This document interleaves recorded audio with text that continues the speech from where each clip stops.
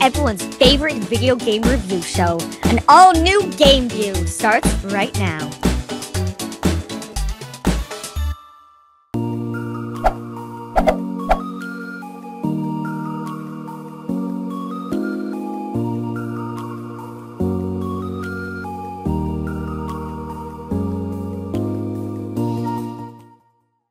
Hey guys, it's Scott. Tonight on Game View, it's the final installment in our series about the train wreck that was Paper Mario Color Splash. The last time we talked about this game was over six months ago.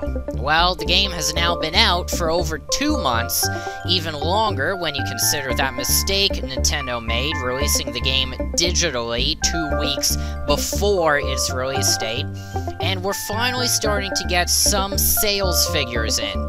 So we're going to take a look at that, and I'm also going to give you my final thoughts on the game. I've played through it from start to finish, and uh, it's a little better than I thought it was, but I'm still highly disappointed by the Intelligent Systems team. And Kensuke Tanabe. We'll get to him later on. Okay, so the first thing we're going to start off with is the figures. Uh, these are the most important indicator on the success or failure of a game. Usually when a company boasts their sales figures to the public, whether it's a press release or a public event of some sort, it's because the game or the product is doing extremely well. Look at all the PRs that have been released on Pokemon Sun and Moon recently. Obviously, a lot of people, millions across the globe, have bought Sun and Moon, have even pre-ordered Sun and Moon. So Nintendo is clearly quite happy about that.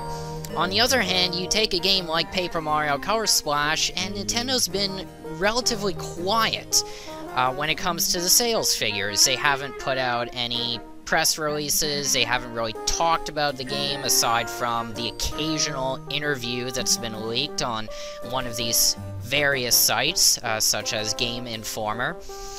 Uh, so to preface this, I want to go back 16 years, and I've been taking a look at these numbers provided by Nintendo Life and VGChartz, and uh, I just want to give you a bit of an introduction to how well the previous Paper Mario games have done.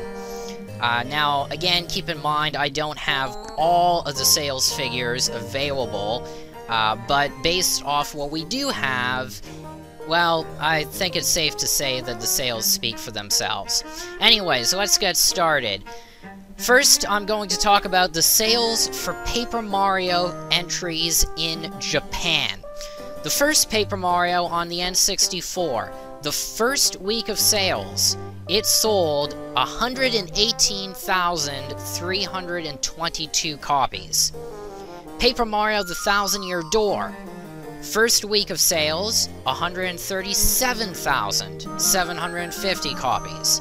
Super Paper Mario, First week, 156,055 copies. Now, if you notice a pattern here, the numbers keep going up, right?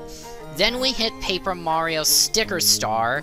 First week, 130,009 copies. That's a drop of about 26,000. And then, finally, we get to Paper Mario Color Splash. First week sales in Japan, 20,894. And no, this is not a joke. We went from a series that started at 118,000 and continued to climb through the subsequent releases of Thousand Year Door and Super Paper Mario, but as soon as Sticker Star came out in 2012, that's when the sales started to decline, and really, crash and burn would be the appropriate term uh, when Color Splash was released. Uh, sort of like a stock market crash. Maybe not as bad as the one that happened in 1929, but uh, no doubt Nintendo's not happy with those figures. Now, here's where you're gonna say, but wait, Scott, first week sales are not indicative of a game's total performance. And you know what? You're right. So, a more accurate way to take a look at this would be to see how many copies of a game sold throughout the lifetime of that game's release and divide that by the number of people who bought the console the game was released on. We get a percentage that tells us roughly how many people who bought the console also spent the extra money on the game. For the first Paper Mario, again, these are Japanese figures, the lifetime sales for the N64 version were 425,609 copies. Roughly 5,540,000 people in Japan bought the N64 console itself. Therefore, we give Paper Mario an attachment rate of 7.68%. So roughly 7% of everyone in Japan who bought an N64 also bought the original Paper Mario. Then we take a look at the Thousand Year Door. Lifetime sales actually went down slightly, 409,600, but the install base, the number of people who bought GameCubes, also went down, 4,040,000. So, the attachment rate actually went up. 10% of all GameCube owners in Japan bought the Thousand Year Door. Improvement. Next entry, Super Paper Mario. Now, you have to remember, Super Paper Mario came out on the highly successful Wii platform. That being said, lifetime sales 506,298, roughly 12,750,000 Wii systems were sold in Japan. That gives Super Paper Mario an attachment rate of 3.97%. Huge drop from the Thousand Year Door, but that's to be expected. The Wii was a more casual system aimed more at casual gamers and families. Here's where things get interesting. Paper Mario Sticker Star continued to see a drop in the attachment rate. 564,823 copies sold, 21,320,000 people bought the 3DS. That gives Paper Mario Sticker Star an attachment rate of just 2.65%. Even though more consoles are being sold, whether they're a handheld console or a home-based console, even though more consoles are being sold, the number of people buying Paper Mario games is not increasing. In fact, it's either staying the same or it's decreasing through subsequent entries. That's not good. Now, of course, the last entry we have to talk about is Paper Mario Color Splash. Now, again, we haven't gotten through the lifetime of this game, which, let's be honest, is probably going to be pretty short because the Wii U is coming up to a very quick and decisive end as the Switch nears its release.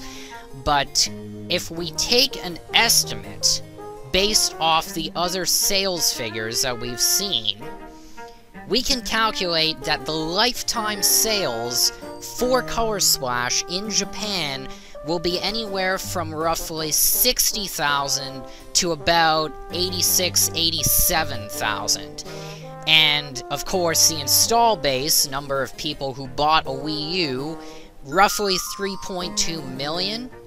So, based off of that, we can say that the attachment rate for Color Splash will be somewhere between 1.95% and roughly 2.68%. So, basically what this means is, at best, Color Splash matches Sticker Star's level of attachment rate.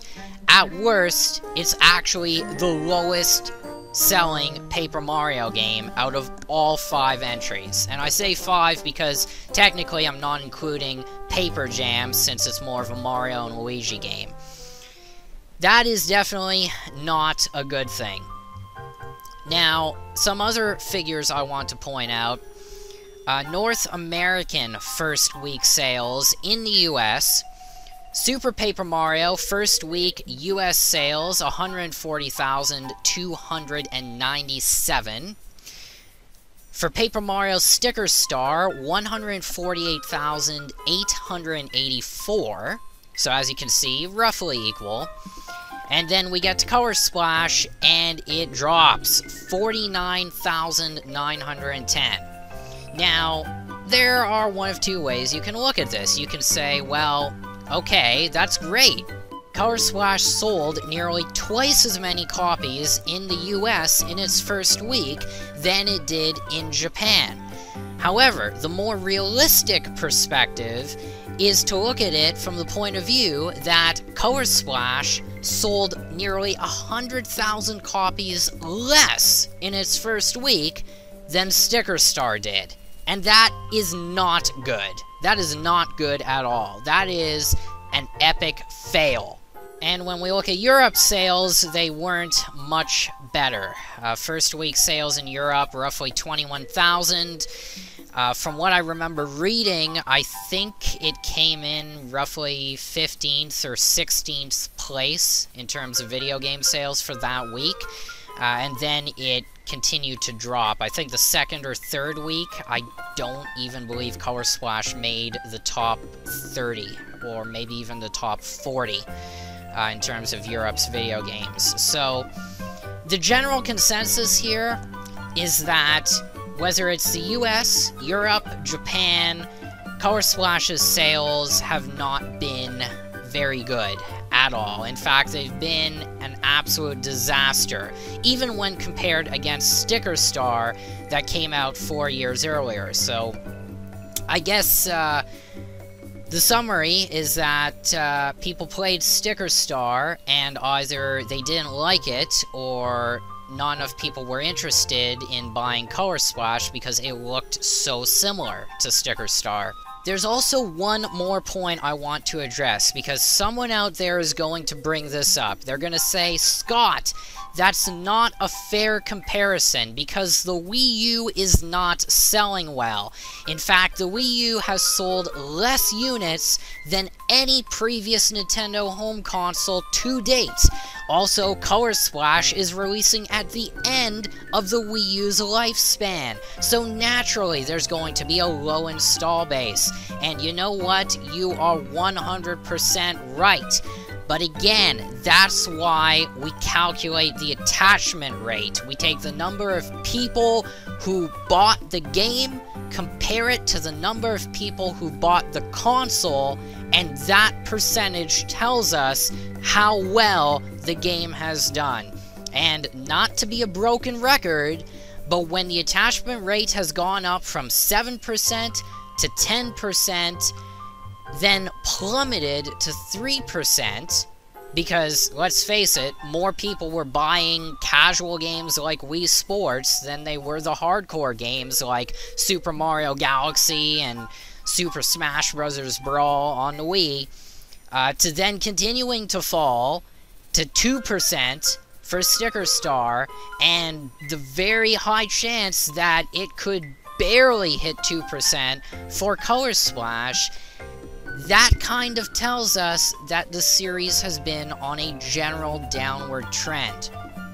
And whether that's because of the fact that the games have not been in the turn-based JRPG style since 2004, or because of the fact that uh, they've strayed away from using original characters. I mean, you can create any excuse you want. You can debate it ad nauseum. We've already gone over all the details, so I won't bore you with them again. But from a sales perspective, Super Paper Mario had the highest first week sales of all the Paper Mario games, and Paper Mario The Thousand Year Door had the highest attachment rate of all the Paper Mario games. That was almost a decade ago, folks. That's some sad stuff. Clearly, not many people are happy about the direction the Paper Mario series has taken, and despite Sticker Star doing relatively well, and both Sticker Star and Color Splash getting scores in the 7s and 8s from places like IGN and GameSpot. Um, I think it's obvious what the fans want, and it's based off of these sales results. The next thing I want to talk about is a recent interview Game Informer had with Kensuke Tanabe, the producer of Color Splash. Now, if you think you've heard his name before, chances are you actually have. I did some research and I found out some interesting things about this guy. Apparently, he was a screenplay advisor for Super Mario RPG. He was, of course, the producer of the Metroid Prime series. He was the producer of Paper Mario Sticker Star, the supervisor of Mario and Luigi Paper Jam, the producer of the much hated Metroid Prime Federation Force, and now, like I said, the producer of Paper Mario Color Splash. And, more innocuously, he was also responsible for Chibi Robo Ziplash, another game that uh, angered its fan base, to say the very least. So, Game Informer asked Tanabe about two things in particular. The fact that Paper Mario continues to move away from its turn-based JRPG roots, and the fact that Intelligent Systems refuses to add original characters into the Paper Mario games. And this is what Tanabe had to say. Quote, Mario is not an IP that I created. From the position of someone borrowing the IP, I think it's only natural to show respect to the person who created it, and let that feeling of respect guide us when Miyamoto-san, the father of Mario, asks us, could you make a game with only characters from the Mario family? I think it's only natural for us to give it our best shot. In other words, we are not currently thinking about returning to old NPCs. Incidentally, I do think Color Splash may have proven that we can still make a game entertaining even if our original characters don't appear as NPCs, and with that belief, we will keep on continuing to do our best. End quote. Game Informer then went further and specifically asked Tanabe if he would bring back companion characters with their own abilities in the future. And here's what Tanabe said on that. Quote, Personally, I don't give much thought to how we are leaving old methods behind in any series, not just Paper Mario. I always prioritize thinking about how we can build new methods and new elements. Of course, there were some series where we have not made big changes to the systems, but sometimes that's because we feel as though these systems haven't been perfected yet, or the gameplay can be expanded even further. We felt both of those things in Color Splash. However, I do feel as though we reached the end of where Color Splash is headed. So if we get the chance to continue the series, I think we'll want to create a Paper Mario with a different system. End quote. Now, there are a few interesting things I want to point out about this interview. First, a few days after it was posted on Game Informer's website, it was taken down in its entirety.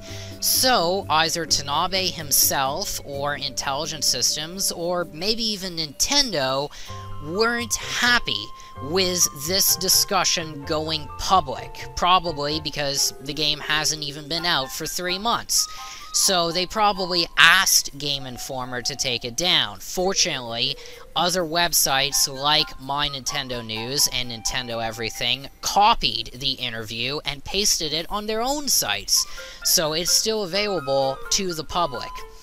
But it just goes to show you that clearly they want to keep the poor sales and the negative reactions to this game away from the public as much as possible because, as you know, with any company, they like to only talk about the positives and try to hide the negatives away from public view.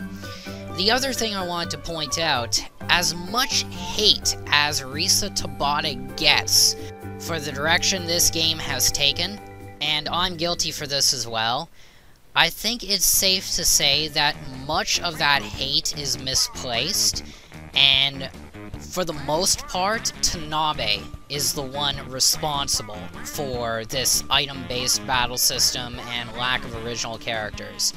Because, to me anyway, and I could be wrong, but it seems like Risa Tabata was Nintendo's PR person. She was the one who wanted to be shown in the public light advertising this game.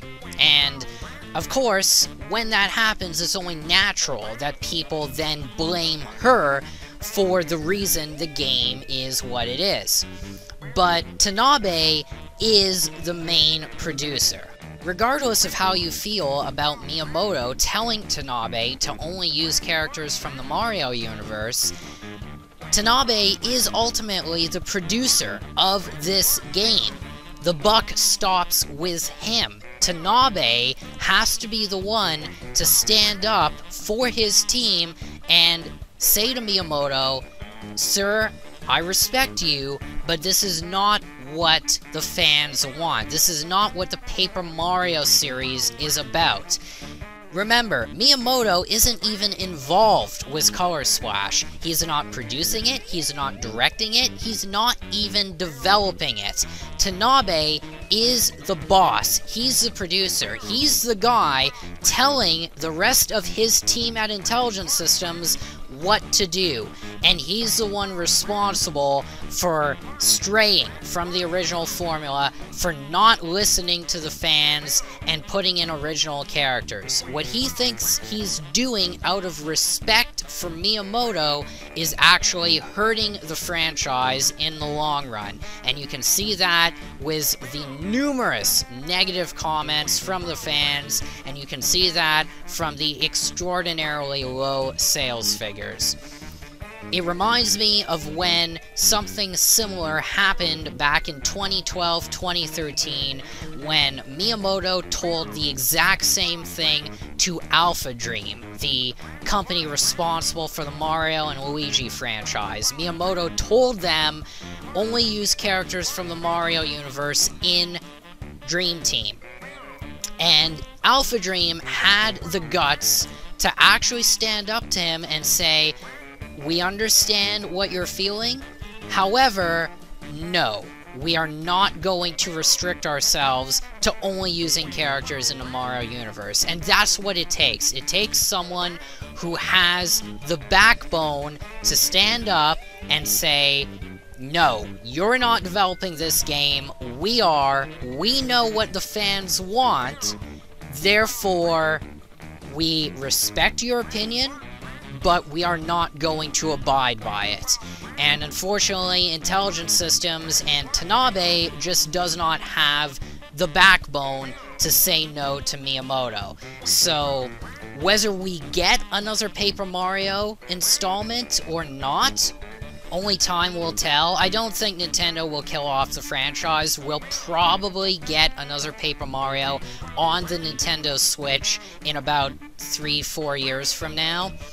But my biggest fear is that the next Paper Mario will not only continue to alienate traditional Paper Mario fans, but it will also alienate the Sticker Star and Color Splash fans, because the two biggest takeaways out of this interview are that Tanabe still refuses to include original characters and original character designs, and they've pretty much maxed out what they think they can do with the Sticker Star and Color Splash battle system, so the next Paper Mario will have, yet again, a completely different battle system. So, whether that battle system is better or worse than the one we got in Color Splash, who's to know, but it will be a completely different battle system nonetheless. So, unfortunately, the next Paper Mario on the Switch will still have hundreds of Toads and hundreds of Shy Guys again, because Tanabe refuses to allow his team to create original characters and original designs, even though they are perfectly more than capable of doing so. And uh, not only that, but it's probably going to be another non-EXP based battle system. I could be wrong. I hope I am.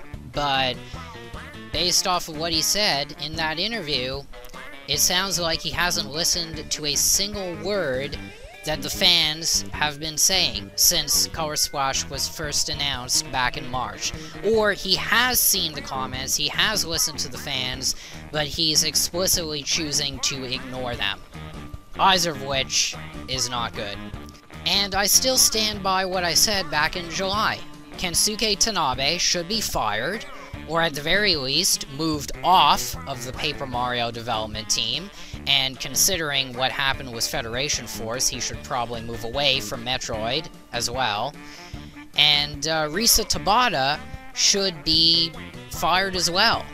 I know it's mostly not her fault because she's just acting like a PR person in public view, uh, saying the same things Tanabe probably told her to say, but someone at that company has to stand up and, like I said, have a backbone and say to them, whoever's in charge, this is what the fans want, this is why the sales are not strong, and we want to try a different direction. We want to try listening to the fans, listening to their feedback, implementing it into the game, and then if the sales continue a downward spiral, then it's fair to try a new direction for the series, or just end the series altogether. But if you continue down this path of not listening to what the fans want, the sales will reflect that. I'm going to end this episode by talking about my experience with Paper Mario Color Splash. I got my fair share of criticism from commentators saying, Oh, Scott, you didn't buy the game yet. You didn't play through it. You don't have the right to criticize. It could be a lot better than you think it is. So you know what? I pre-ordered the game. I wasted $85 because yes, it is $85 after tax over here. And I played through it. And here's what I have to say about it. Was it as bad as I thought it was going to be? No. But all the criticisms I had about Color Splash from the moment I saw the first one minute trailer back in March were actually accurate. And they were true 100%. The graphics were phenomenal. I know some people are criticizing the way it looks, being too papery. Uh, but I didn't have any problem with that. The music, very addictive. I actually found myself getting into every single wild battle I could just because I wanted to listen to the music. Uh, the humor was spot on. Uh, the humor, in fact, actually reminded me of how funny the original Paper Mario games used to be. And uh, aside from that, um, as far as the length of the game is concerned, it actually took me just as long to beat Color Splash as it did to beat the original Thousand Year Door and Super Paper Mario. You would think that the game would actually be shorter because it only has six big paint stars instead of eight, which is usually typical of a Paper Mario adventure, but uh, Probably because I was collecting everything and battling every wild enemy, that's why it took just as long.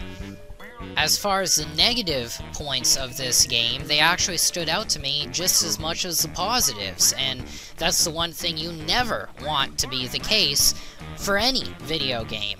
The lack of original characters. Yes, we got some enemies that were never part of any previous Paper Mario game, like the Dino Rhinos and the Bone Goombas, but they were still part of the Mario family.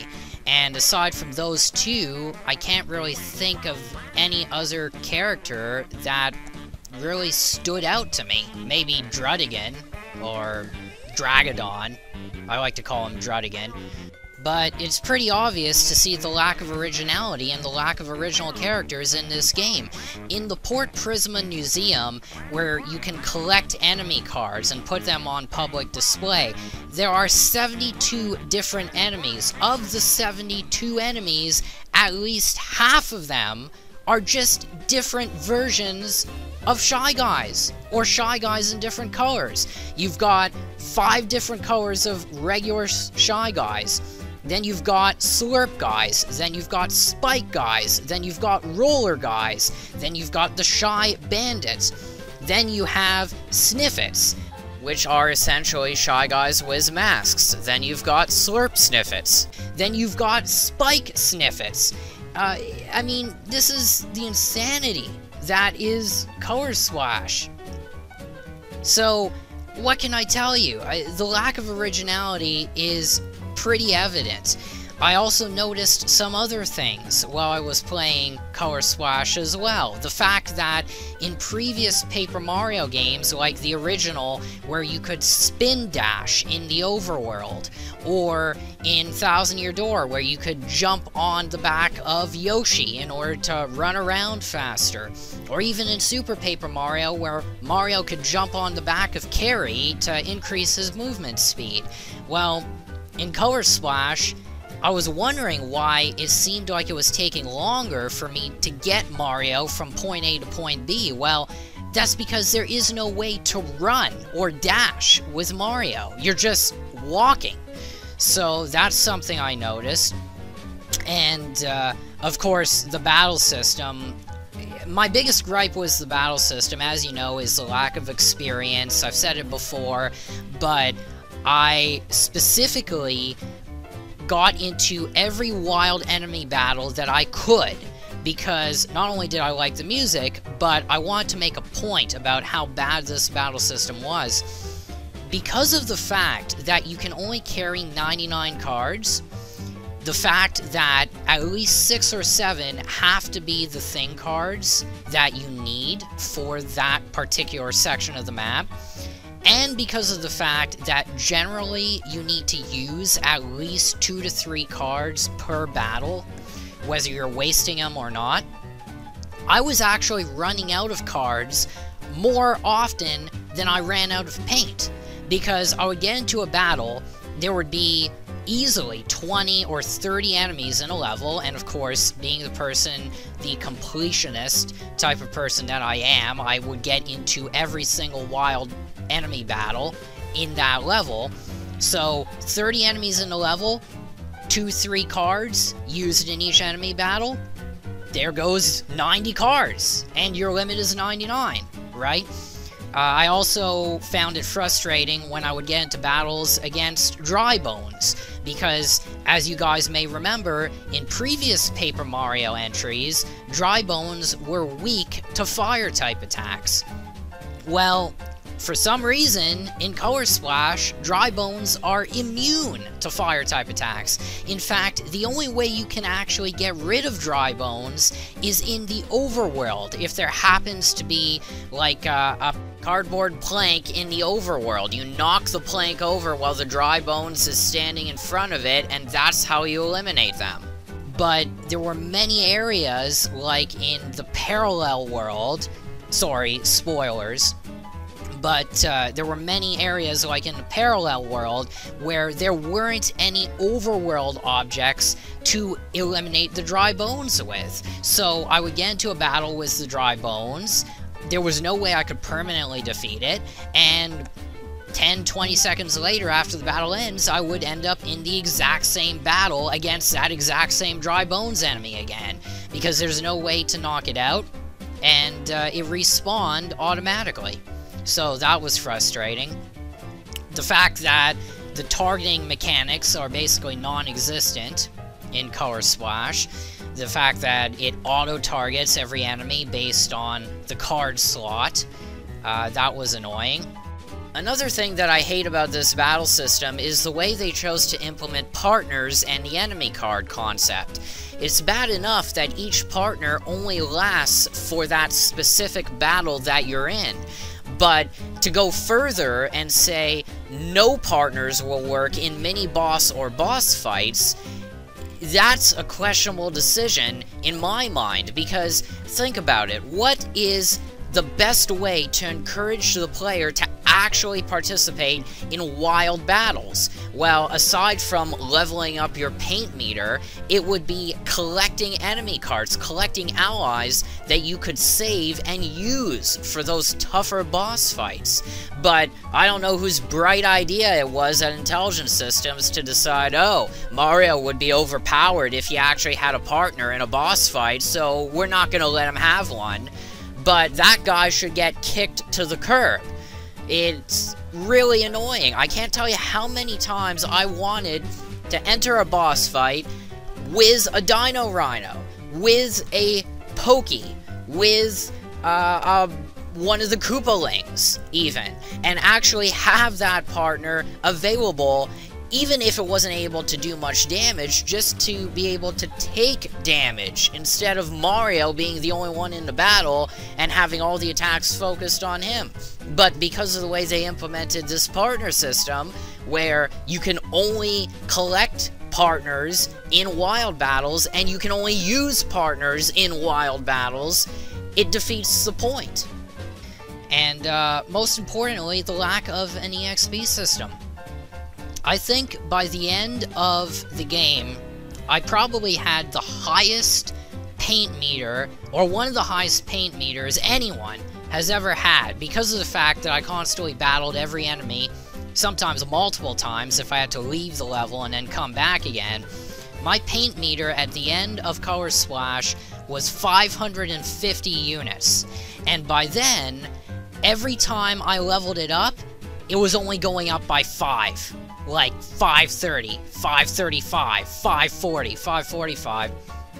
And uh, even when I used a big fire flower or a big ice flower, uh, which consisted of most of my cards, let's be honest, I mean, most of my inventory was like 30 iron jumps, 30 fire flowers, and a couple of ice flowers just to get around the enemies that were immune to fire, like the dry bones.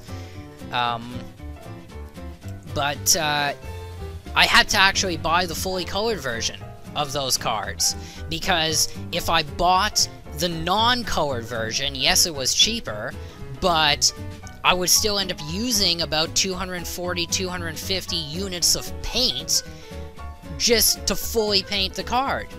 So even at 500 units, half my paint gauge was eliminated just by painting one fire flower or one big ice flower. So I basically just farmed coins at Roshambo temples. And, uh, oh, by the way, uh, the Toad, who is the uh, Roshambo master at each of the temples, it's basically just a Toad wearing a glove hat at the end. He, he takes off his glove hat and reveals he's just a regular red and white toad.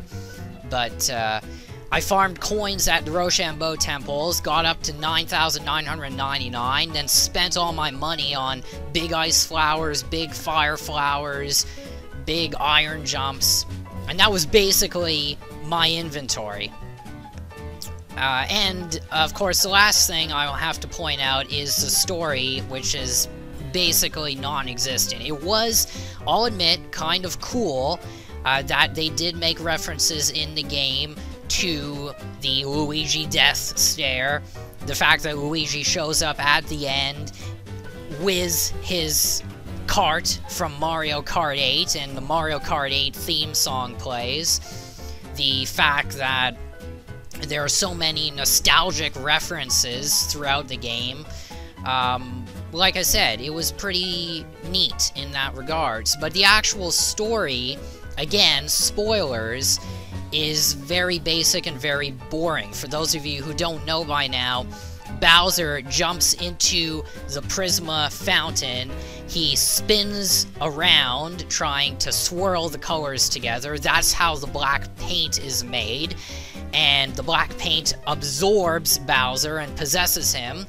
And basically, the final battle of the game, uh, all it comes down to is nailing the defensive action timing, because Bowser attacks Mario. If you time the defensive action command correctly, then you suck all the black paint away from Bowser, castle crumbles, end of the story. And that's basically it.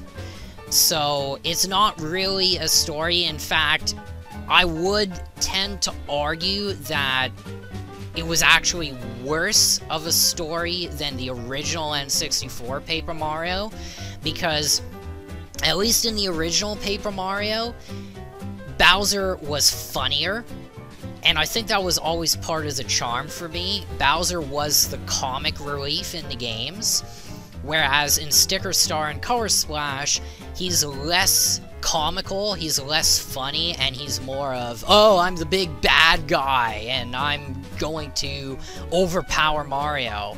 So, but even in the original games, uh, just that that comedy that has always been associated with Bowser, even though it was just a blatant, oh, I stole the Star Rod, I became almighty and all-powerful, I still prefer that over what they did in Sticker Star and Color Splash.